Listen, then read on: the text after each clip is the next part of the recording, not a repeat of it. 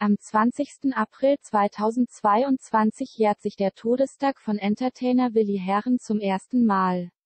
Seine Witwe Jasmin Herren will ihrem Mann mit einer großen Show die letzte Ehre erweisen. Jasmin Herren, 42, konnte sich nicht mehr von ihrem Mann verabschieden.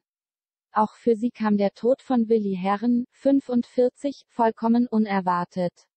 Mit einer großen Gedenkveranstaltung, bei der Promis und Fans dabei sein sollen will sie dem Mallorca-Star die letzte Ehre erweisen und den verpassten Abschied nachholen. Willi Herren, Jasmin lädt prominente Gäste und Fans ein. Im Podcast Lose Luder soll Jasmin Herren die Veranstaltung ankündigen.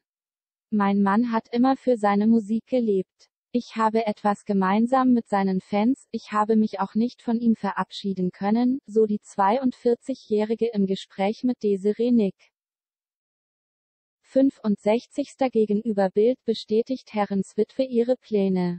Was auf der Party natürlich nicht fehlen darf, Willi Herrens Lieder.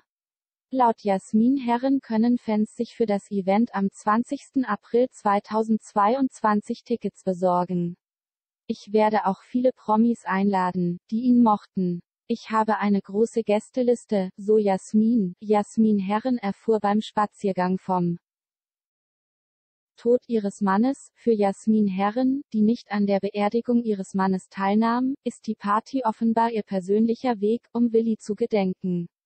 Die 42-Jährige offenbarte kurz nach dem Tod des Entertainers, dass die beim Spaziergang von dem tragischen Verlust erfuhr.